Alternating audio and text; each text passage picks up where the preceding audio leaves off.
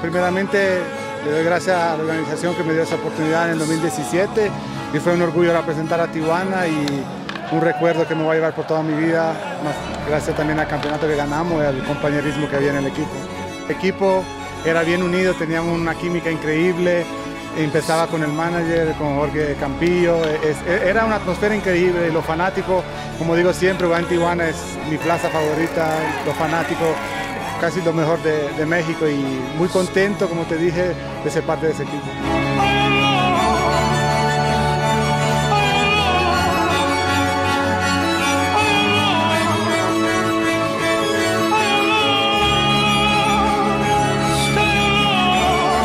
como dije, siempre tengo muchos recuerdos buenos, así que